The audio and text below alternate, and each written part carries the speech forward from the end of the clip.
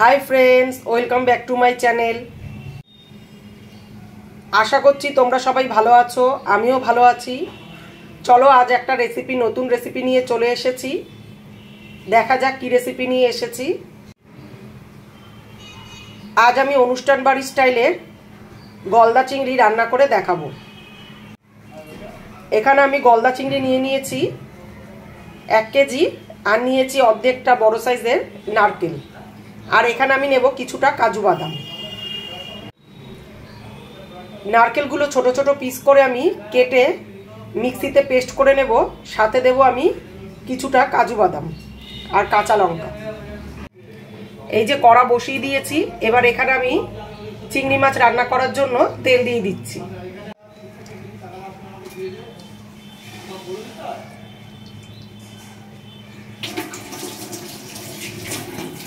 কড়াতে তেল দিয়ে দিলাম।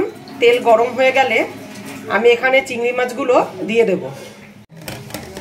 নারকেলগুলো আমি এরকম ছোট ছোট পিস করে চেরি করে নিয়েছি। এবার এগুলো আমি মিক্সিতে দিয়ে দিচ্ছি। এখানে দিয়ে দেব কিছুটা কাঁচা লঙ্কা আর কিছুটা কাজু বাদাম। এই যে এখানে আমি কাজু আর লঙ্কাটা নিয়ে নিয়েছি। এবার এটাও আমি মিক্সিতে একবারে দিয়ে দিলাম।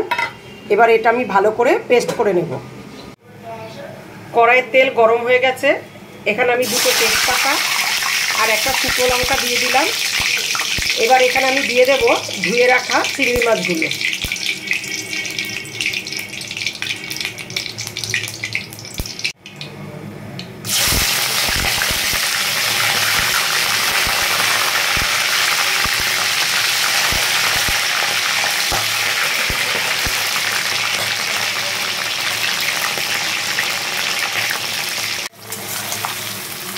সবগুলো চিংড়ি মাছ দিয়ে দিলাম। দিয়ে একটু ভাজা ভাজা করে নেব। এবার এখানে আমি দিয়ে দেব সামান্য পরিমাণে লবণ আর সামান্য পরিমাণে হলুদ। এই যে একদম অল্প করে হলুদ দিলাম। না দিলেও চলে, তবে আমি হলুদ দিলাম। আর দেব এখানে আমি স্বাদ মতন লবণ। এখানে আমি দিয়ে দিচ্ছি স্বাদ মতন লবণ। লবণ আর হলুদ দিয়ে বেশ কিছুক্ষণ টাইম এটা একটু ভাজা ভাজা করে নেব। এই একই রকমভাবেই কিন্তু অনুষ্ঠান বাড়িতে চিংড়ি মাছের রেসিপিটা করা হয়। আমি সেই রকমভাবেই করছি। তোমরা যদি চাও, বাড়িতে এইভাবেই ট্রাই করতে পারো।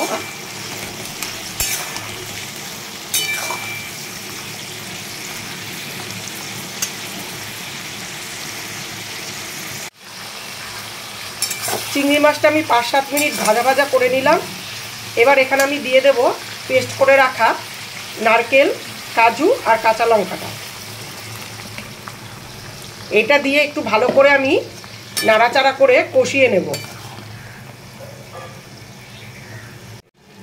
পাঁচ সাত মিনিট পর আমি আবার ফিরে আসলাম। দেখো, নারকেলটা দিয়ে বেশ ভালো করে আমি কষিয়ে নিলাম। এবার এখানে আমি দিয়ে দেব পরিমাণ মতন দুধ। এবার এখানে আমি দিয়ে দিচ্ছি পরিমাণ মতন দুধ।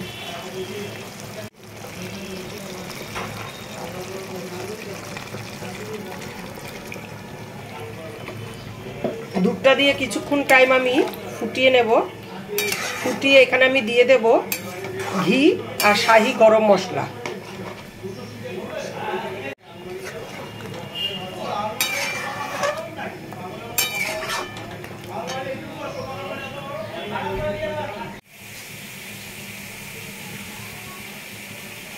দুধটা দিয়ে আমি বেশ কিছুক্ষণ টাইম এটা ফুটিয়ে নিলাম। এবার এখানে আমি দিয়ে দেব স্বাদ মতন চিনি।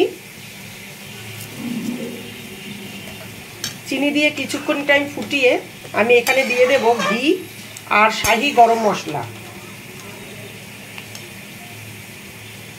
বন্ধুরা, তোমাদের যদি আমার এই ভিডিওটা ভালো লেগে থাকে, তোমরা অতি অবশ্যই লাইক কমেন্ট শেয়ার আর সাবস্ক্রাইব করো। আর পাশে থাকা বেল আইকনটা প্রেস করে দিও।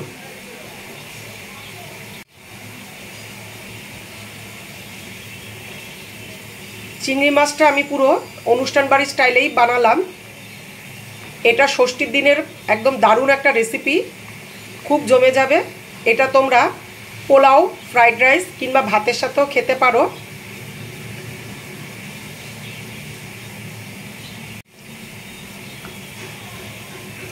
এবার এখানে আমি দিয়ে দিচ্ছি পরিমাণ মতন ঘি।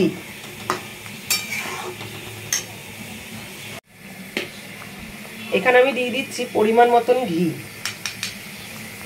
ঘি দিয়ে একটু নাড়াচাড়া করে নেব।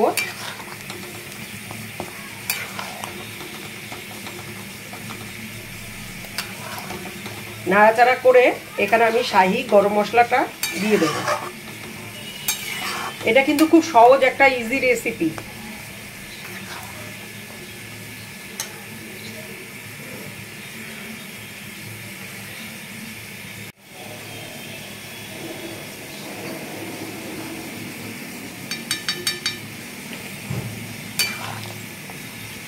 শাহি গরম মশলা দিয়ে একটু নাড়াচাড়া করেই আমি এটা নামিয়ে ফেলছি।